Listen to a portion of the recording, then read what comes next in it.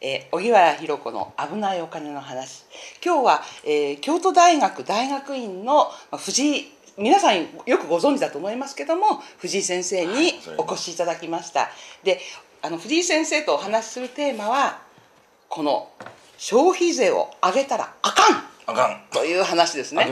で先生は あのその消費税10%、はい、日本をね日本を滅ぼすという本を書かれてますけども、その消費税をテーマにお話をしていきたいと思います。はい、で、えー、大体まあ3つぐらいの構成で、消費税増税はどんな悪影響を及ぼすのか。うんそれから次に安倍政権の消費税増税対策は万全なのか、それからあとそもそも本当に消費税上げられるのか。っていう、まあ、3つの観点からお話をしていきたいと思います。はい、でまず先生にお伺いしたいんですけど、はい。はい、消費税増税はどんな悪影響を及ぼすんでしょう？まずですね、うん、あのこちらの本でも書かせていただきましたけど、あの日本経済を破壊するね怖いですよね。これあの怖いお金の話ですから、うん、本当これ怖いと思います、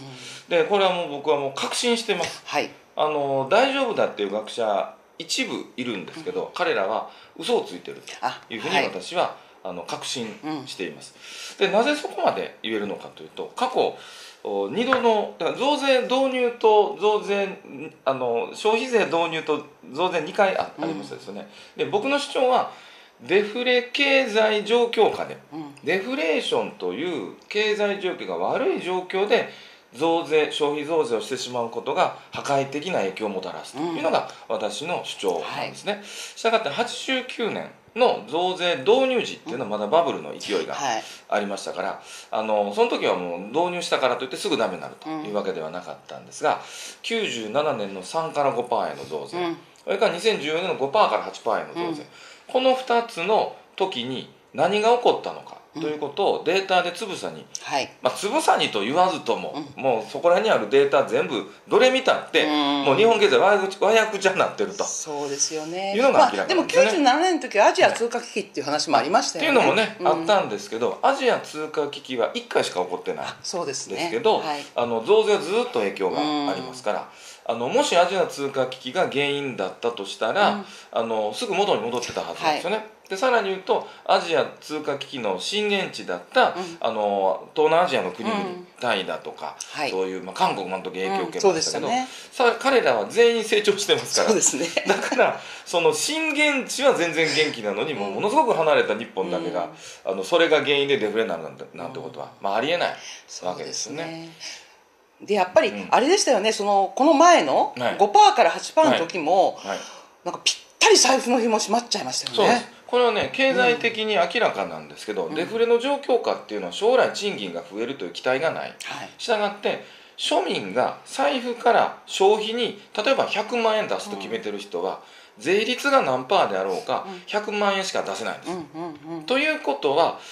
消費税が0%だったら100万円分お米とかパンとか買えるんですよね、ところが税率が例えばまあ、5%になったり8%になったり10%になったりするとその分政府に抜かれますよね。ね、まあ、計算簡単のために10%にしておきますと、うん。うん、10%100 万使ったら10万円政府持って帰るわけです、うん、で90万円分しかお店に行かない、うん、それで90万円分のお米がこっちにしか来ないということで、我々は10万円分確実に貧乏になるんです。で実際90あ2014年増税の時にあ、えー、と2014年増税の時に3%上がりましたよね、はいはい、そしたらさっきの理論でいくと3%消費が下がるはずなんです、うん、実際2.9%下がってるんですね、うん、ということで理論通りなんです理論通り。理論通りにいってまして、ね、だから今度10%にすると確実にまた景気が悪くなると、うん、でそもそもですね2014年の時にどれぐらい僕たち貧乏だったとかい。うのをねちょっと手元のデータでこう見てみますとね。えっ、ー、とねなんとね34万円も消費が減退してるんですよ。これあのちょっと分かりにくいですけど、うん、まあ、消費の推移なんですけど、うんうん、1月分をの消費の勢い消費率みたいなもんですけど、うん、年間に拡大すると昔は369万円、うんうん。直前ではね、はい、使ってたんですけど17年時点で335万円まで減ってるんですよ、毎年毎年減ってると。これは要するに消費ができなくなったから、あのどんどんどんどん私たち貧乏になってきてる。そうですよね。で、うん、賃金上がってればいいですけど賃金が上がっていないというね。そもそもね、うん、お店屋さんに90万いくって言ったじゃないですか、うん、100万円いってたらお店屋さんのあの売り上げ100万ですよね、でも消費税導入後は90万になってるんですよ、したがってお店屋さん貧乏になってるわけですよ、ということで巡りめくって僕たちの会社もみんな貧乏になってるんですよ、そもそも経済というのは消費で成り立ってますから、はい、ご飯を食べたりお餅を食べたり、ね、散髪行ったりしてね、それでみんなで経済ぐるぐるお金回してますからお金ぐるぐる回ってる間にちょうどバキュームカーで政府が10%ぐらい吸い上げていくわけですからそれはお金減ってって、懐に入るお金も減って貧乏になると。で貧乏になれば翌年の消費も減ると、消費も減ったらそしたらまた所得も減るということでもう坂道を転げ落ちるようにダメになってる。これ14年ですし97年の時も同じ現象が起こってます、先生あのあれですよね、はい、罰だって言ってましたね消費税は。罰。あそうそうそうそう。消費税は、ね、消費を減退させる。そうです。消費に対する罰金だと。罰金。ああ罰金ですね、ね、もうお金その経済っていうのは経済主体 ABCDEFG ってこうずっといて、うん、こうやってみんなでお金回して経済成り立ってるわけですよ、はい。こうあのご飯食べたり散髪行ったり先ほどのね、うん、家建てたりとか全部含めてこうぐるぐる回って。このぐるぐる回る全てのお金のトランザクションというかこう、うん、こう支払いの時にちょっとずつお金取るんです、はいはい、だからそれは消費絶対減るんですよ、うん、でそれ以上に誰かがものすごいなんかお金をみんなに配ってたりね、うんうん、したらその罰金があっても上っていけますけれども、うん、今もデフレ状況ですから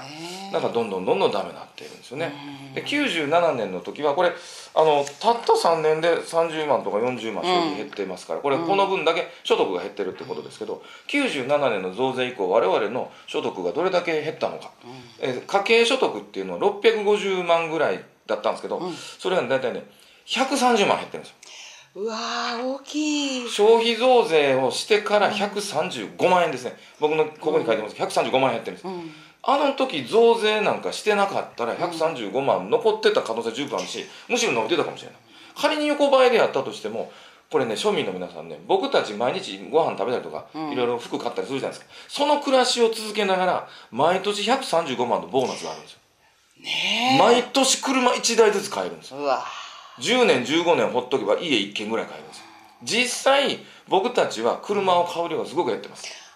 さらに言うと家買う人もすごく減りましたそうですね。だからね135万本当に減ってるっていうのを実感で我々の実感とすごく合うんですね、うん、でそれを導いたのは増税なんですでそれそれで失われた国のあれが、はい。はい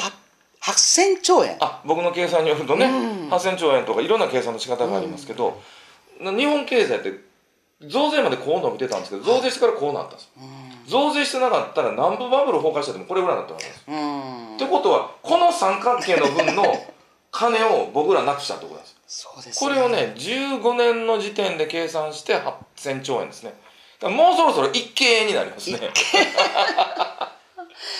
いやでも、はい、そうやって政府は抜いてるわけですよね、はい、じゃあそれで政府が儲かってんのかっていう話ですよね。ど貧乏なってど貧乏になってこれはねあの赤字国債発行額はあの増税97年にする前の10年間赤字国債発行額の平均は2.9兆円です、うん、が3兆円です、はいはい、ところがね増税して景気が悪くなるじゃないですか。消費税はちょろっと増えますけども、うん、所得も減る。法人の、うん、もう売り上げも減るので、うん、法人税も所得税も激減するんですよ、で収入がねもう、ま、毎年右肩下がりで減ってったんです、あの政府の税収が、それに加えて不況になりましたからあの社会保障が増えたんです、失業保険だとか生活保護だとか、だからその出す量も増えるし入る量も減るので、政府の赤字は急に拡大してあの96年までの10年間平均の赤字国債発行額は3兆円ですけど、97年に一気に拡大して、その以降のもうこうなってそれ以後の10年間の赤字国債発行額は23兆になったんですよ。つまり赤字国債発行額は増税のせいで20兆円増えたんですよ。まあ一体誰がそ得をしたんでしょう？全員損してる。全員損してる。得をしたのは、増税をして君偉かったなと言われた財務官僚だけですよね。出世したね。出世したのは財務省の中ではねそういう人が出世しますからね、ね、だからそこの奥さんとかお子さんとか結構いい塾行けたりいい服買ったりとかしたんちゃいますかね。出世できてね。よかったですね。あとは全員損をしたと。全員損してるわけですよ。とんでもない話ですね。本当にじゃあもうこれがやっぱり10%になったら、うん、もっとひどい精神的な影響。めちゃくちゃなりますで僕はあのここでも書きましたけど心理学をずっと、もう98年から留学をしてあの特に消費者行動の心理学をずっとやってたんですけどその心理学的見地から言いますと専門用語でタックスサリエンスっていう概念があります。サリエンス。これはあの税の顕著性と日本語では訳されますけど、税金を払う時にどれぐらい税金払ってるかっていうのが意識に上ると消費が減退するんですよ。ところがあの意識に上らなかったら、あんまり気にせんと消費はそのまま続行されるんですよ、でタックスサリエンス税の分かりやすさ顕著性でいうと10%って史上最強なんですよ。分かりやすいですよね。1万8900円払のものだったら、はい、1890円。そうです。すぐ計算できますね。これ8%やったらえっ、ー、と18の8のもうええわみたいなね。もうええわになるのでだから消費をブレーキはいまいち低かったんです8%って、うんうん、まあ、当然ありますよ。ブレーキしてるんですけど、はい、10%になって大変な心理的ブレーキにもなるし、うんうん、だから要するに罰金の重さが重くなるんですよ。10%になると精神的な、8%じゃ分からないですもんね。分からないですよ。それでもこんだけ被害があったんですから、うん、もう10%になったら僕はもう日本経済地獄やと思いますね。でもそうするともう本当にみんな物を買わなくなって、なると思います。ますますシュリンクしてしまう、はい、シュリンクします、要するに僕たちがお金使わないとお店屋さん儲からない、うん、そこで仕入れをしているメーカーさんも、うん、食料品店も農家さんもみんな儲かりません、うん、全員ダメになりますね。でもそれに対して、まああの政府はちゃんと万全の対策をしているので、そうですね。まあそんなひどい落ち込みはないだろうと言ってますよね、あの総理はですね、えーと、例えば年始の挨拶の時とかにも消費税を増税することで6.3兆円家計負担を増やすと、うん、だけど我々は6.6兆円お釣りが来るぐらいお金使うから大丈夫だと。それがこれですね先生。そうなんです、はい、これねだから負担増はえーと、消費税とかとタバコ税とかも上がるので、うん、だいたいこれ6.3兆円上がるんです、はい、でそれから対策がね、まあ、あと軽減税率だとか、うん、幼児教育無償化だとか診察報診療報酬とかの補填したり、うん、あと臨時特別の予算措置ってこれあの、えーと、財政政策こう、公共投資やったり。で税制上の支援とかこうやって、これ全部足すと6.3兆円なん。です、あ6.6兆円、これとこれ比べるとこっちの方がでかいから、お釣りが来るぐらい対策するんだから大丈夫いと、大丈夫いと。言ってるんですけど全然ダメだと。いうのを僕論文で書いてるんですけど、っていうかこう、パッと見ても私どこに入るんだろうってこの恩恵をどこで受けられるのか、ね。けね軽減税率ってもよよくわけわかんないし、それからあと幼児教育も幼児いないし、あのねなんかどどどこでこうあれ、恩恵を受けてるのかよくわからないですよこっちの方はしっかり取られてるのがこれは全員からしっかり取りますからね。でマクロ経済的に言うと、この6.3兆円はさっきの、えっと、3%増税の時に実質消費が2.9%下がったように、この6.3兆円増収するということは我々の消費は6.3兆円着実に減ります、だこれでものすごいディープインパクトがほぼ100%きます、はい、6.3兆円100%きます。ところがこっちはね幼児教育無償化とかのところが一番分かりやすいんですけど。そうですね。2.8兆円兆円。これねあのこの2.8兆円が景気対策全部いくかというとそうならないんですよ、うん、なぜかというとこれは経済学では所得移転というんですけど、うん。はい、これ要するに例えばお子さん持っていらっしゃったとしましょうよ、小平さんがね、はいはいはい、でまあまあ1人だけだとして2.8兆円上げますと、うん、でこの時2.8兆円をそのまま全部使えばこの2.8兆円は経済効果なんです。そうですよね、うん、ところがこれ大体ね低く見積もっても半分ぐらい貯金しますよ。デフレの時って。そうですね、うん、というかあの不安ですもんね将来、ね、そうそうそうそう不安だとやっぱり貯金するしかないですよね。そうそうでしかもここは出費は増やさないですから、うん、庶民は。そうですね。あの100万円払う人は100万円しか払わなくて、うん、余分に税金分払うんじゃないですから、実は家計負担が増えるわけじゃないです。よ、純粋に消費が減るだけなんです実際でだからそこでだから消費増やさないで2.8兆円もらったら、うん、それ全部丸っぽ貯金しようと思っても不思議じゃないですか,、うん、だから下手したら8割ぐらい貯金されるかもしれない、うん、したがってこれお金配ったら政府としてはあの財政赤字は拡大するんだけど、うん、景気効果はゼロのケースも多いんですよ。そうですよね。大雑把に言って1.4兆円しか効果ないんですよね、であとそのポイントこのこの中にこうポイントとかあるんですけど還元とか。あれだってなんかもうポイント貯めてそれで後で使うかっていうと使わなかったりしますしずっと置いたりとか。しますよね。そのうち使おうみたいな。ねあのペイペイだったらね100億円あげちゃうみたいな感じなんで、うんうん、まあ勢いよくみんなねもしかしたら、はいはい、あのビックカメラとか並ぶかもしれないけれども、はいはい、このポイント還元ってすっごい分かりにくいし、うんね、あと地方の人使えないしクレジットカード持ってなきゃダメだしみたいなすっごい制約がありますよね、うん、そう、ね、するとそれがじゃあ本当にその起爆剤になるのかっていうと、なかなかこれ難しいですよね。仮にそれが全員使ってたとしても僕のポイントは貯金しちゃうあるいはもらった瞬間に使わないので、うん、貯蓄しちゃうんですよポイント置いといたり、でそのせいで結局経済効果6.73兆6兆円分は絶対ないです。で僕の試算によるとあと10%の余分効果もありますからね、うん、それで考えるとこれを全部やったとしたらこれ要するに財政は3000億円赤字になると同時に、経済は4兆円から6兆円マイナスになります、うんうん、だからやってもあの全然足らないと。ね、まあ、無駄とは言わないけど足らないでも、ね、これ、まあ、商品券もそうですよね。商品券もなんかもうそうそうそうそう。低所得者の人にやるわけだから結局なんか味噌とか米買って終わっちゃうみたいな感じですよね、まあ、買えばまだいいんですけどもったいないからずっと置いとくとかね。期限があればまだこういうのはいいんですけどちょっとその辺どうなるかまだ分かんないですけど。これは大切ですね強靭化対策。それはもう当然大切。あのこれはあのでもこれはここに入るのかっていう気もしますけど。そうなんですそれはもう だってあれは緊急インフラ点検っていうのは、この消費税とは無関係に、人が死ぬかどうかの基準で、あの点検して積み上げた事業ですからこれとは無関係にやらなきゃいけない。ことですよね、まあ、ただ副次効果で経済効果があるからまあここに載せてもいいとは言えるんですけど。あとねこのね、はい、軽減税率というのがまたまた分からなくて、例えばそば、屋の場合、あのお店で食べると10、えー、10%、出前してもらうと8%じゃないですか。そうなりますね。ね、そしたら、あのみんなお店で食べるより出前してもらった方がいいじゃないですか、そうするとそば屋は人件費かけた方が 税金安くなっちゃうって、あの税金のに税金、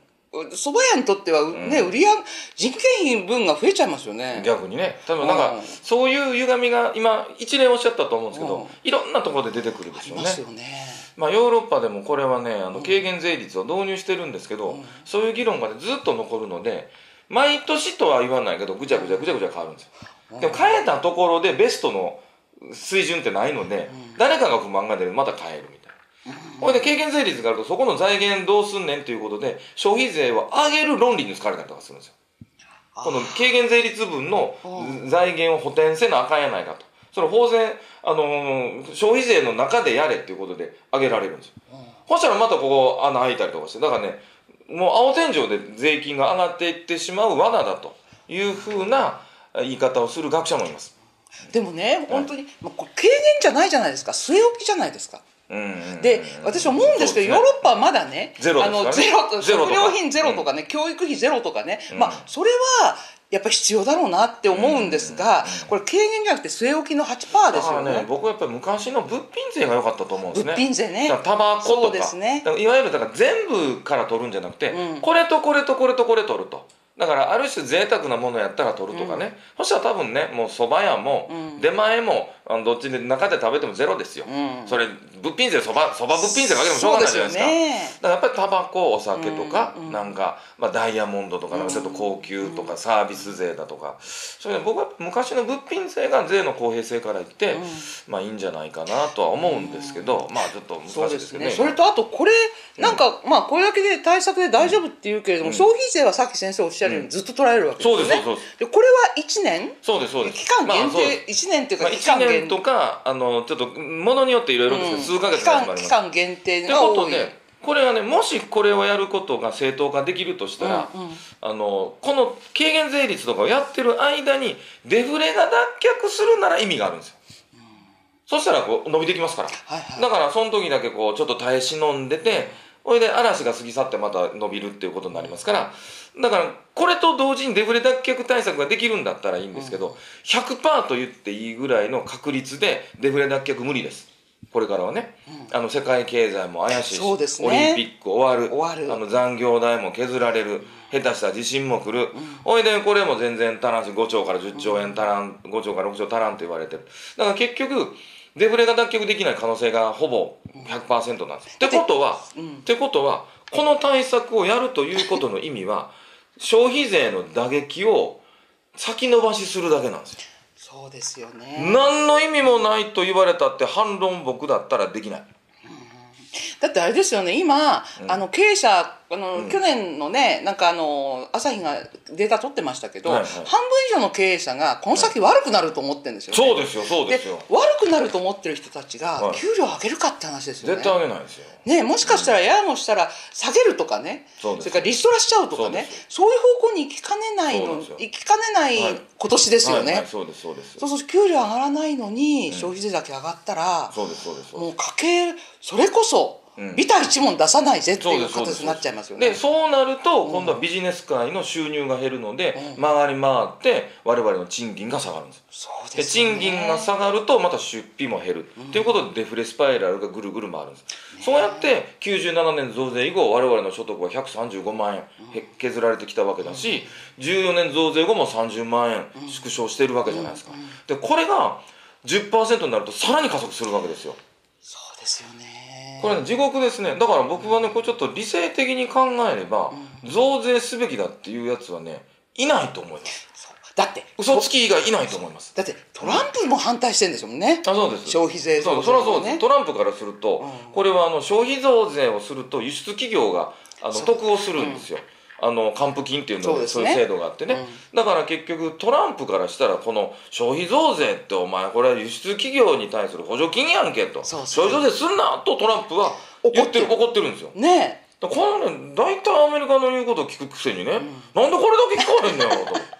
意味わからんわ。でもね、うん、あのアメリカって、合衆国には消費税ないじゃないですか。で、ね、州ごとにはまあねアラスカはゼロだけど、州ごとには入れたりいろいろしてますけど、でもなんでアメリカでその合衆国で入れないのかっていうと、もうアメリカの議員のコンセンサスは消費税は、あの逆進性がある不公平な税金だってことになってるわけですね。でこれねあのマクロ統計のデータを見るとね日本ってもう97年の増税以降ダメになったんですよ、で中国伸びてるアメリカ伸びてる、ヨーロッパもずっと伸びてたんですけどリーマンショック以降横ばいになったんですよ、うん、で今横ばいの国っていうのは広く言って EU 諸国と日本だけなんですよ。あと全部伸びてるんです、うん、この2つの共通点は消費税あるいは VAT 付加価値税ですね、いわゆる消費税が高いんですよ、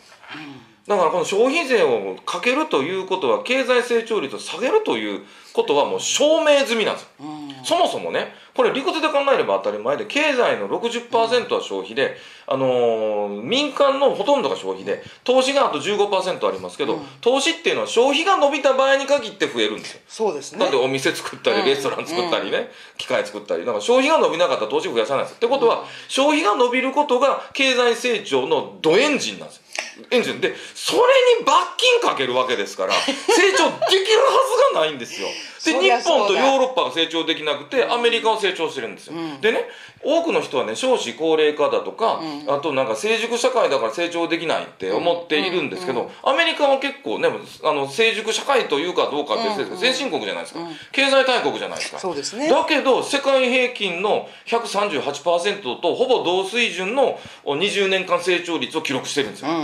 で従って先進国であろうがなかろうが、うん、消費税さえ入れなければ全ての国家は成長できるんです、うん、にもかかわらず日本とヨーロッパはバカだから消費税増税しやがったわけですよ。だって中国だってちょっと景気悪いから減税しようかみたいなこと言ってますよね。もう大体ね、うん、景気悪かったら増税議論するところが減税議論するんですよ、うん、で、ね、実際ねアメリカはルーズベルト大統領の時に、うん、ニューディール政策の時に大型の公共事業をやったということは有名ですけど、あの時ちゃんと減税してるんですよ。景気対策の根幹にあるのは減税です、とりわけ消費減税が一番大事僕はこのデフレの時には消費減税をした上でその分お金が足らんっていうんだったら法人税増税をすればいいと思う、うん、私ね本当先生の言う通りだと思うのは、はい、もう法人税ずっと下げてきたじゃないですか。そうですよ。230兆円減ってるそこを下げてきた分が消費税になっている。そうですよ。そしたらそれって結局なんか企業に移転してるわけじゃないですか。そうだから要するにこのえーと、平成元年に消費税が導入されて250兆円程度の消費税を5トータル払ってますけど、うん、その9割方が法人税の減税分に使われてるわけですよ。ってことはお金に色はついていないのでこの30年間何を行われてきたかというと大企業たちが僕たちの財布に手突っ込んで240兆円抜いてったってことなんですよ。それと一緒ですよ、ね、大企業が僕らの金を吸い上げてるんですよ。しかも株主、うん、株主配当すごい増えてますよね。そうですよ。この株主の多くが外国人ですよね。そうです。我々の賃金がほとんど変わっていないにもかかわらず企業収益は2倍になり、そして株主配当は5倍になってるんですよ、ね。もうこの過去のデータを見ると、もうね、だから要するに、テレビで喋ってるやつのほとんどは、今僕が紹介してるような、データを見ずにイメージで喋ってるんですよ。なるほど。もう一回大学入り直せと思いますねあいつら。そうです、ね、俺が教えたるわ兄弟でと思います、ね、だって 日銀だってそうじゃないですか、うん、え日銀の理論って私全然わかんないんですけど、うん、なんか物の値段が上がると将来上がるだろうと思って先に買おうとして、うん、なんか購買意欲が増えるって普通でも物の値段が上がると思ったらみんな買わないんじゃないですか？給料上がってなければ。あの給料が上がると思えば所得が増えるってことですね。でも思えないんだで給料の上がり方と物価っていうのは連動するのでマクロ経済的には、ただ給料上がらないで物価だけ増えてたら消費税削りますわ。で結局さらに消費税をつけて下げるわけですよね実質賃金をね。だからねこの国の政治はね、うん、あの政策論では動かないんですよ。ああそうなんですか。政治内における力学で動いてるんですよ。どういうこと？先生は中に随分いらっしゃいましたけど6年間ねましたけど、うん、僕はその感想で申し上げると、うんあの理論とか論理とか正義で動く割合は、うんまあ、何パーというか感というかいろいろ分野によっていろいろですけど、うん、こと消費税に関してはもうほとんどもう力学で動いてますね。力学。要するに官庁間の力学ですね、うん、でも今どちらかというと財務省よりも経産省の方が強くなってるじゃないですか。そんなことないんですか？とんでもない財務省強いんですか？徹底的に財務省も強い。経産省なんて派手なやつが何かいるだけで大して力ないです、うん、ほとんどないと言っていい。安倍内閣で？全くないと言っていい、うん、で消費税ってありますけど、うんうん、結局なんか予算というものが国家の根幹ですから、うん、予算の権限を財務省が握っている限りもう日本におけるアメリカ CIA を除く最強の権力者は財務省なんです。官邸よりも権力があると僕は感じてます、うんうんだからこんな理不尽な消費増税が行われてるんですよ、さらにそこよりももうちょっと強いグループがあるとしたらやっぱり財界ですね。ああなるほど、ね、だってもともと法人税減税だとかあと構造改革とか全部財界の圧力じゃないですか。でそれで法人税が下がったところをどう補填すんねんと考えた政治の力学で消費税を上げると、民から巻き上げようってことになったわけですから最終的に一番この国で強いのはアメリカを除くと、まあ、財界とも言えますね。財界ね、うん、でも財界も今そのあのね自動自公連なんかはもう消費税反、うん、賛成みたいなこと言ってたけど今年からあのトヨタの社長が、うん、あの会長になってそうですね。ね30万台も減っちゃう消費税があの上がったらみたいなことを言ってますよね。普通考えたらそうですから、うん。絶対そうなんですよねということは全、うん、あの財界も一枚岩ではなくなってまあそうですね、うん、ただ財界は法人税は下げろと圧力かかってるのでそれを言えば言うほど自動的に消費税増税につながるというメカニズムにあんま気づいてないんですね。あなるほど、ね、気づいてない人もいます、うん、ただ気づいてるやつは財界のトップなんかいつも消費税増税には賛成しますよね。そうですね。経団連だとか同友会のトップは必ず賛成します。それはそのメカニズムを知ってるんですよ、なるほどそう増税を消費増税したらうちとこの法人減税してくれるやろうなと思ってはるんですよ、うんうん、汚い話ですね。ね。でも私ね、うん、あのこう3番目になるんですけど、はい。はいはい、じゃあね、うん、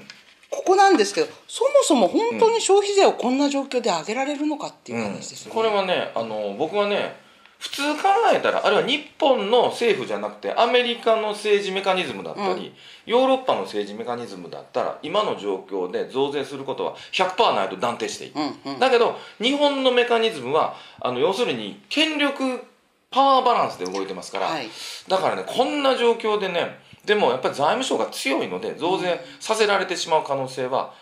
まだ4割ぐらいはあります。4割ぐらい。でもあれですよね4割とかで6割だから半分以下だと思いますけどねでも菅さんが1月の3日に文化放送に出て、最終判断は3月の予算を取ってからそうですね。って言ってましたよね、そうですね。そうするとその時に、どう財務省はその時めがけて今一生懸命やってるんですか？そうですね。だからもう今ものすごいその景気対策って言って6.6兆円まで積んだわけですよ、うん、彼らの普通のビヘイビア行動から考えるともうあの6.3兆円増収なのにそれ以上の3000億円をつけた支出を許容するなんてことはありえなかったんです。そうですね。でもそれをやるっていうことはもう必死になって増税を断行するための力学を働かせてるんですよ。であるいはこの6.6兆円が人質になってるんですよ。6.6兆円欲しいやろと、うん、そやからちゃんと幼児無償化してほしいやろお前らとやったら増税しなあかんよなと。でもでも、うん、政治家が考えると、うん、あの幼児無償化よりも、消費税上げるって方がインパクトは皆さんに対しては強いんじゃないですか？だからねここでね、やっぱりどういう力学が働くかっていうと、やっぱり選挙って大きなそうですよね。ポイントになるので、うん、僕はねやっぱりね自民党さんにしても、うん、多くの特にこ次参議院選挙出る人は気も冷えてると思いますよ。これで増税されたら俺負けるやんけと。折しももうなんかいろいろと去年から森やら家計やら、うん、もう公文書やら、ね、統計やら。統計あれもうあれ国家の体をなしてないと言われてもしょうがないですよね。よね。だってあんなに急激に上がって、選挙対策ですもんね。もう例えばね、そういうという批判があるじゃないですか、うん、ただでさえきついのにこれで増税かと。でこれで野党が増税凍結で1万円で攻撃されてきたら、うん、わしもたんぞと思っている議員は僕は意外と多いと思います、ああなるほどね。この声を、やっぱりこの自民党総理大臣というのは自民党総裁でもありますから、はい、選挙で負けたらレームナックになることはもう全員分かってますし、うん、特にこれ最後の選挙になりますから最後っていうかラスト3年に向けての、ね、参議院選挙になるじゃないですか。だからこれからあの安倍内閣としてはレームダック化することが一番恐怖なはずなんですよ。この恐怖心と財務省のその強力なパワーとの戦いですね。でも、うん、あれですよね、菅さんは、まあ、先生おっしゃったんですけど、菅さんは消費税反対ですよね、僕はそうだと思いますね、やっぱりあのもともと若い頃からあの自分の師匠の自民党の先生方が財務省に騙されたと、ずっと言ってもあの時97年増税やったせいで自民党が。そうですね、橋本さんね。そうそうそう。あれでもうすごい反省してるという時に政治の勉強されてたので、菅さんのあの官房長官かどうか置いといて菅菅義偉という政治家の、こうなんていうか情念というか、パッションの中で絶対増税せえへんぞという気持ちはあるはずなんですよ。ただ官房長官ですからこう何ともできないところあると思いますけど。安倍さんはどうなんですか？安倍さんもねもともと総裁選に出る時、うん、あるいはあの2012年の総裁選ね、うん、でそれとあと総選挙の時は明確に増税はデフレ脱却以降と何度もおっしゃってたんですよ、うん、だからオリジナルな安倍さんの気持ちは増税したくないはずなんですよ、うんうん、だけど財務省の力が強いもんだから、まあ、こういう状況になってるんだろうなというふうに僕は思ってます、だから根性入れたらもうそんなもん凍凍結もできるし、うん、もう減税ぐらい全然できるとは思いますけど。そうですよね、まあ、でも減税したらすごいと思いますねすごいですよ、ね、これ例えば5%に戻すとか言ったらそうですこれで自民党対象ですよね。そうですよ。もうもう勝たしてあげてもいいかもしれませんね。あだからあんまテレビで誰を勝たすとか言っちゃダメなんです僕はね。あのいいかもとかでもなんていうかまあまあそのね僕は特にどこの政党もないですけど、はいそれは肩張るんちゃいますかね。ねそら。もしかしたら、えー、みたいな。もしかしたらそういうシナリオってあるかもしれませんね、うん、減税ね。減税。減税。で対象ダブル選挙。ねそれそれいけますよ。ささやかれてますよね。ねあのよく永田町では聞く噂話ですよね。本当かどうかわかりません でもねそれぐらい僕が、うん、あの内閣官房参与じゃなくて自民党のアドバイザーだったら、うん、それをささやきますね。勝ちたかったらそうしなさい、ね、で野党のアドバイザーだったら、うん、もう野党全員を減税でまとめてでもうあのインフレに完全になるまで、えー、減税するというふうにこうまとめて。でそれを取れた方が僕選挙で勝てるん違うかなと。そうですよね、うん、そのぐらい私たちの生活にとっては本当にシビアな話だっていう、うん。うん、そういうことですよね。主婦も困るし。でサラリーマンの方のボーナスも減っていくわけですから増税すると、あと企業も決してあのもろ手を挙げて賛成できないような話ですよね。特に中小企業はもう払消費税分払えない人いっぱいいますから、これはもうね倒産また増えると思いますね、地獄になると思いますね。なるほど。いや本当に、はい、まあでも先生なんかは本当に一生懸命言っていただく、はい、ね、はい、であの赤旗にも出て。ああもうだから僕はもうメディアの種類関係なく 関係なく。聞かれたことは誰にでも答えますから。消費税に関しては。そうですね。よっぽど嫌いなやつのメディアには出ないですけど。まあまああのなん大体何でも出ますよ。よかった好かれて。